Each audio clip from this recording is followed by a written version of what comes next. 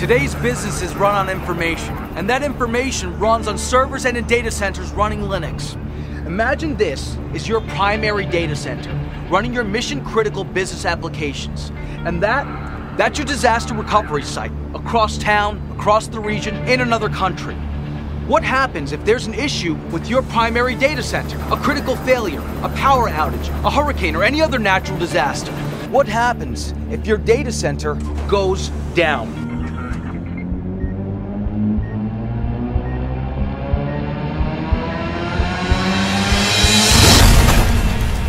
Your business still be up? It will be.